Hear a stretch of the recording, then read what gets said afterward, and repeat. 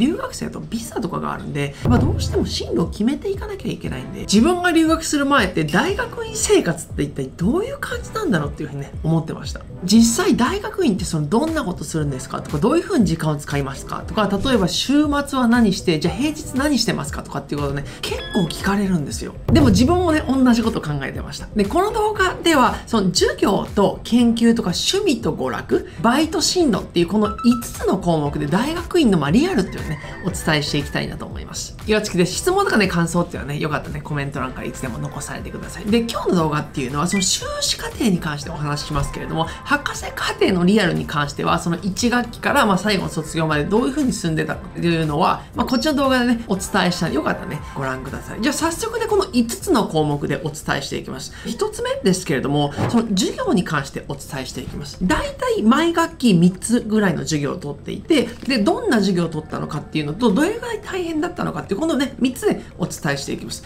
で、まあ、毎学期3つの授業を取ったんですけど、それを大体2年ぐらいやると、修士っていうのが卒業できる。大体っていうのは結構多くが2年なんですけど、MBA とか公衆衛生っていうのは結構1年間だったりして、まあ、だけど多くが2年なんですよ。場合によって単位数が多くないといけないと、3つの授業じゃなくて4つの授業を1学期ずつ取っていくっていう感じで、それによって大体33から48単位取って卒業するっていう感じになります。ります自分の場合っていうのは、まあ今お伝えしたように3つとかね、4つって取ってました。で、これって日本の感覚だと結構少ないと思うんですけど、まあアメリカだと普通がだいたい3か4で1個の授業に2時間半授業があるんですよ。だからもしかすると週に1回の場合は2時間半一気にやって、週2個分かれてる場合っていうのは1時間15分っていうのがまあ2個あるっていう感じですね。で、2つ目のどんな授業っていうことで、大体これ僕の授業はこういうのをお伝えした後に、皆さんだったらこういうのを取るんだろうなっていうのを、まあその学部が違っても大体予想できるんで、それをお伝えしていくと、自分が取ったのって研究関係の授業と、自分が修士の時心理学の授業と心理学の中でもやっぱり選んだりするんで、自分の場合っていうのはスポーツ心理学とか、まあカウンセリング関係だったらね、授業って研究の授業ではその統計学とか研究方法論ってどういうふうに研究をやるのかって授業があるんです。これを取らないと修士論文を書けないっていう感じで研究の授業っていうので、次っていうのは心理学の授業。まあ例えば大学生とはどんな年代ですかみたいな授業があったりとか、例えばどういうような病気があるのかっていうような心理学関係の授業っていうのが必修でいくつかあるんですよ。で、スポーツ心理学の関係の授業っていうのもいくつか必修であって、もちろんその心理学とかスポーツ心理学の中でも選択一種っていうのかな、この3つか4つの中で1個取ってくださいねとかっていうのもあったんで、大体ね、そんな感じで進んでいきます。で、僕の場合っていうのはやっぱ運動関係に興味があったので、保健体育みたいな学部もあったんで、そこで1個か2個選択の授業を取りましたけど、大体この3つなんで、例えば皆さんが、じゃあエンジニアにしましょうか。エンジニアの修士に進んだとしても、研究方法論とか統計っていうのは取ると思います。その中でエンジニアの基本的なものを学ぶ。基本的じゃないか、基本的な大学生のね、ちょっと発達した、まあ難しい内容と、でもエンジニアの中でもいろいろあるんです。例えば、じゃあ、メカニカルエンジニアリングって、まあ機械工学とか、他にも、まあシビルエンジニアリングとか、エンジニアでもいろいろあるんで、その中で1個選ぶと思うんです。まあなので、それに関する授業があるっていう感じで進んでいて、大変さっていうのはこの3つ目ですけど、自分の中ではやっぱり基本的に英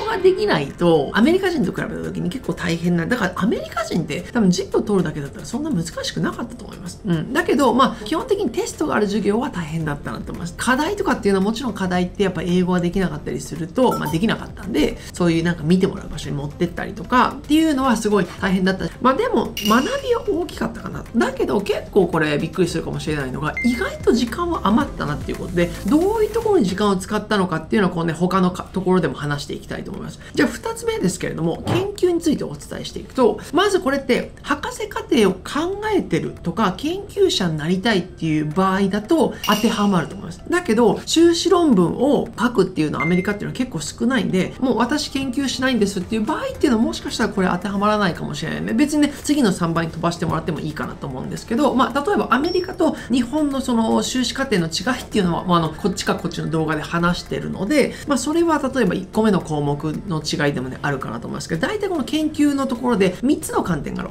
お伝えしていくと、1つ目っていうのは3つのね、研究に自分まず携わったっていうのが1つ。で、2つ目、どれぐらい時間を使ったのかっていうのをお伝えしていきましょうか。なんで研究したのかっていうのをお伝えしていくと、まず1つ目っていうのは、まあ、自分の修士の研究っていうのは時間を費やした。これが一番ね、時間費やしたかなと思います。で、指導教科の研究が2つあって、それに手伝ったので、その研究アシスタントとして。で、まあ、いろいろデータ取った中で2つに携わったんで、まあ、修士の研究って、まあ、投稿されたのが、まあ、こっちかこっちに出てくる論文ですけど、で、もう一つっていうのが、まあ、博士課程の時に実際論文としては掲載されたこっちに出てきましたけれども、の研究に携わったんです。で、あと学会発表っていうのに行ったっていうのは、結構研究の行事としては大きいかなと。で、時間配分ということで、例えば毎週研究ミーティングっていうのがあったりして、で、そこで自分のその研究だと、こういうのがあって、で、まあ、フィードバックもらってとか、じゃあその先生の手伝いだと、じゃあデータいつ取りましょうかっていう、そういうような話をそこでミーティングでやってました。で、やっぱ自分の研究っていうのは、アイディアを見つけるのとかにも時間かかったし、データ取るのっていうのも、なんかね、国別比較みたいなのを、まあ、質問してやったので、日本のデータも必要だったし、アメリカのデータも必要だったし、日本でデータ取るってなると、意外とその審査とかっていうのうるさかったりして、結構時間かかったりとかっていうので、大変だったかなと。まあ、あと、まあ、その研究アシスタントで先生のデータを取ったっていうので、まあ、時間かかったっていうと、まあ、最後なんで研究したのかっていうことで、博士課程とかもともと行きたいっていうか、もともと大学の教員になりたいっていうのがあって、修士課程に行ったので、まあ、やっぱり博士課程に行くときに研究って大事なんですよ。なので、それを、まあ、知ってたっていうのもあったので、頑張って研究したっていうのがあります。で、まあ、例えば論文今書いてるとか、まあ、研究論文の書き方がわからないっていう場合だね、まあ、ガイドってこっちに置いておくので、よかったらね、見てみてください。じゃあ、3つ目のその趣味と娯楽に入っていきますけれども、これはやっぱり人によって変わるし、住む場所によっても変わると思います。で、だから自分の場合っていうのは、例えばちょっと旅行行ったとか、テニスチームと旅行っていうかトレーニングキャンプになりますけど、まあ、あと例えば友人とかと、まあ、基本的なその、なんていうか、質素な生活してたと思うんで、まあ、遊び方っていうのも都会と比べると地味だったと思います。で、一つだけお伝えすると、車を持ってる友人がいるっていうのはすごい助かったかなと思います。で、まあ、3つの観点でお伝えしていくと、1つ目じゃ、例えば、どんな人と遊んだのかとか、どんな人と勉強じゃない時に時間費やしてたってことで、1つってっていうのは、テニス部で働いてたんで、まあ、その部活の友達っていうのかな、その卒業生とかと仲良くなったりとかして、テニスやったりとか、まあ、ゴルフやったりとか、卒業生の前っていうのは、例えばテニス部のコーチを女子部でやってた人とか、他にもコーチがいたんで、その子とか、あと、やっぱりテニスのコーチをやってると、他の部活のコーチと仲良くなるんですよ。なので、その子たちと一緒にいたとか、もちろん勉強してたスポーツ理学勉強した時に、メンタルトレーニングとか一緒にやったりすると仲良くなったりとか、いろいろ授業っての取ってるんで、その子たちと一緒に遊んでたから。で、まあ、どんなことやったのかっていうことで、まあ別に僕の遊びに興味はね、多分ないと思うんですけど、まあ参考程度にお伝えすると、2、3週間に1回は大学院の勉強してる子たちとなんかね、ご飯食べに行ったりとかっていうね、したかなと思います。だけどやっぱり忙しくなると、やっぱりそこまで遊びに行けるっていうのはないんで、難しかったなと。で、テニスチームとかっていうのは、そのままテニスをしたりとか、ゴルフをしたりとか、で、まあそのテニス部で4年生の子と僕すごい仲良くなったんですけど、まあ、すぐ卒業しちゃったんですけど、まあ、やっぱり年齢とかもかなり近いじゃないですか。で、一緒にテニスやったりとか、ゴルフやったりとか、まあ、アシスタントコーチと遊んだりとか、ここに写真今出てきましたけれども、野球部とレスリング部と他の部活のことをテニスかと自分でダンスとかもしたことあるんですよ。2年間。なんかそういう 大学のコンテスト出ようみたいな。僕全然ダメでしたけど、でもそういうのってまあ娯楽というか遊びとか勉強に関係ないところ。で、あとまあもう一つ写真出てきましたけれども、アシスタントコーチと仲良くなった子に、まあ日本に僕帰らなかったんで、冬っていうのかな？にまあ3週間旅行に行ったりとかっていう感じでやってたかなと。ここまで参考になってね、高評価してくださるとすごい励みになります。じゃあね、次の項目に行きたいと思います。じゃあ次4つ目っていうのは、バイトとか、まあお仕事に関してお伝えしていきましょうか。で、ざっくり言うと、自分って6個のバイトをしてたんですけど、これはね、簡単にお話ししていきたいなと思いまして、最初に伝える項目から一番時間費やしたなっていうふうに思います。で、1つ目っていうのは、テニス部のアシスタントコーチで、2つ目っていうのが日本語を教えるアシスタント、まあ TA。4つ目っていうのが、日本語を日本人学校で教えるっていうのとテニスを子供に教える。ごめんなさい。これ多分3つ目にした方がいいと思う。これ3つ目に話させてください。5つ目っていうのはアメフトチームの家庭教師を見つけるような仕事。どういうことかもお伝えしていきます。最後っていうのはまメンタルトレーニングということでまず1つ目っていうのは、まあ、自分ってテニス部のコーチとか体育の授業を教えるっていうことで学費って免除になってたんで学費って払わなくてよかったんですよ。給料とかもらってそれで生活したのでバイトっていうような感じよりも正社員ではないんですけど生活ギリギリかなぐらいのね給料っていうのはこの仕事でもらえてたかなと。で2つ目はちょっと稀かなと思うんですけど日本語を教えるアシスタントっていうのは実は多大でやってたんですよ。どういう風にビザを取ったのかみたいなお仕事をするっていう動画ちょっとこっちか概要欄に載っけておきますけれどもビザをしっかり取れば学生中に働けたりするんですよ。なので一時期は40時間実は働いててその時ってね結構給料があったんですよ。本当に40万ぐらいもらってた時があって半分ぐらい貯金してた時ってあるんですけど2つ目っていうのは日本語のアシスタントかっていうのを多大でやったので先生が教えるんだけどそのまあ何て言うか成績をつけたりとか日本語を先生が結構文法とか教えるんで話してもらうっていうようななんかそういうラボって言われてましたけれども日本語を使ってもらうよね授業ってやってました。4つ目っていうのはテニスを子供に教えるっていうキャンプがあって夏3ヶ月間っていうのを2回やったんですけど今思えばよかったなと思ってそこに住めて家賃もかからなくて給料もらえるみたいな。まあ3ヶ月2ヶ月半で30万ぐらいであんま良くないと思いますけどずっとそこに住まなきゃいけないんで。まあでもご飯も出て自分の場合はやっぱりその食費も抑えれたりとかその家賃もないっていうのは良かったし英語もそれで伸びたんで良かったなと思います。